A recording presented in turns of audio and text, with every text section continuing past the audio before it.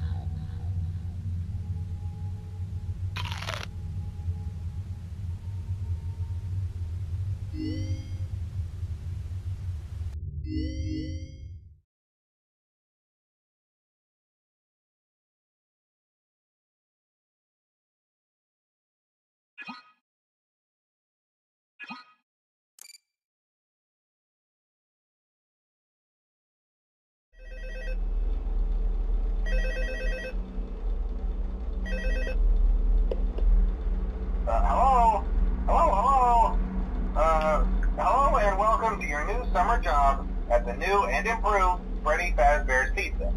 Uh, I'm here to talk you through some of the things you can expect to see during your first week here and to help you get started down this new and exciting career path. Uh, now, I want you to forget anything you may have heard about the old location, you know. Uh, some people still have a somewhat negative impression of the company.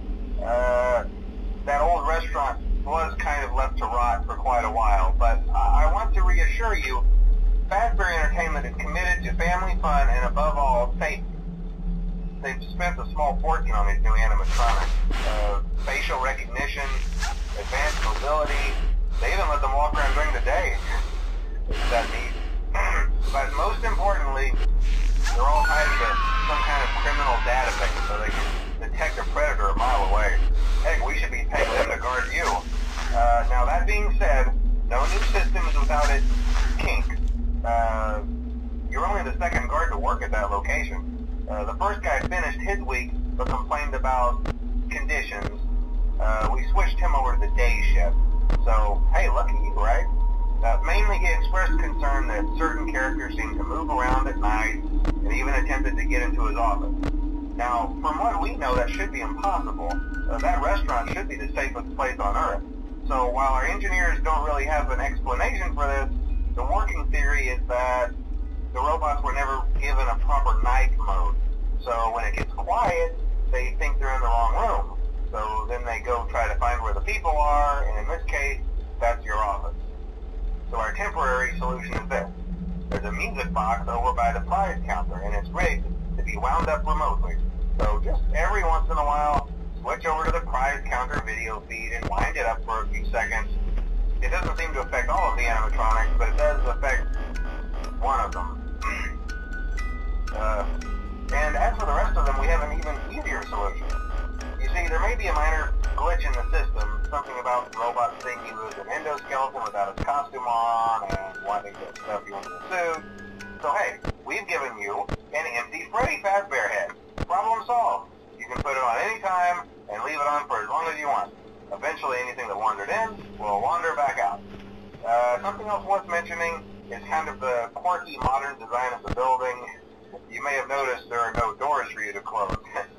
uh, but hey, you have lights, and even though your flashlight can run out of power, the building cannot. So don't worry about the place going dark. Well, I think that's it. Uh, you should be golden. Uh, check the lights, put on the Freddy head if you need to. Uh, keep the music box wound up. Piece of cake. Have a good night, and I'll talk to you tomorrow.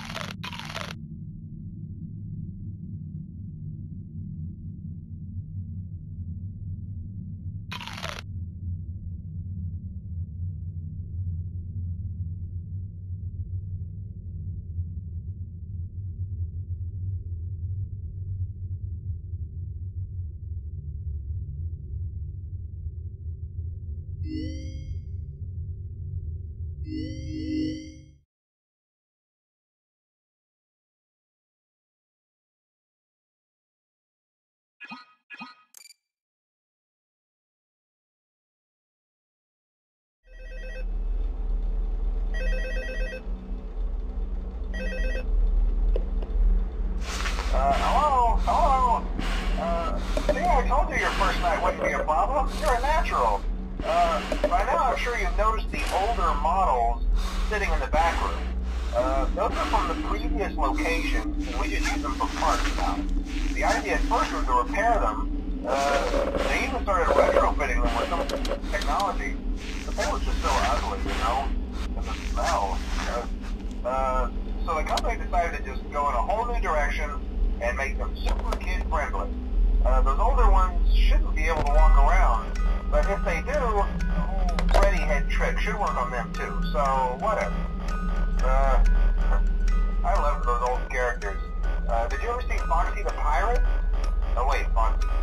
Oh yeah, Foxy. Uh, hey listen, uh, that one was always a bit twitchy. Uh, I'm not sure if the Freddy head trick will work on Foxy. Uh, if for some reason he activates during the night you see him standing at the far end of the hall, uh, just flash your light at him from time to time. Those older models would always get disoriented with bright light. It would cause a system restart or something. Uh, come to think of it, you might want to try that on any room where something undesirable might be. You might hold them in place for a few seconds. Uh, that glitch might have carried over to the newer models too. Uh, one more thing. Don't forget the music box. I'll be honest, I never liked that puppet thing. It's always thinking, and it can go anywhere. Uh, I don't think the Freddy mask will fool it, so just don't forget the music box. Um, anyway, I'm sure it won't be a problem. Uh, have a good night, and I'll talk to you tomorrow. Hello?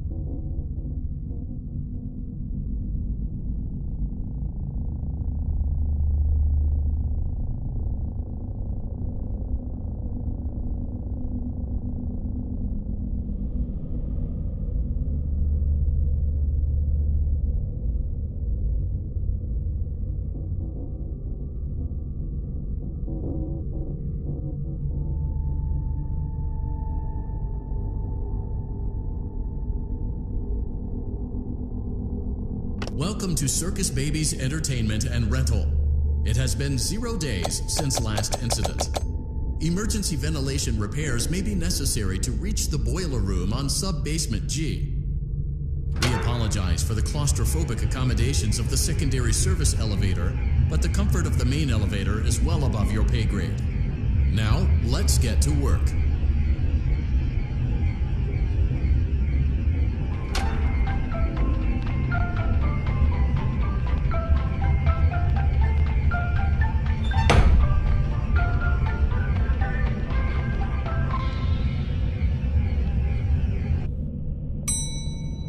Motion trigger. Breaker room.